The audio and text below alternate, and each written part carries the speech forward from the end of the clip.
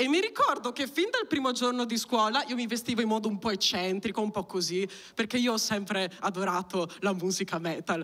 Um, presente i metallari, no? Capelli lunghi, vestiti di nero, prendono il microfono e fanno... Ruttano, boh, quello che fanno i metallari. A me piace anche se mia nonna ogni tanto mi fa, no Sofia, devi smetterla di ascoltare quelli che urlano e parlano di morte. Me lo dice mentre guarda Barbara D'Urso.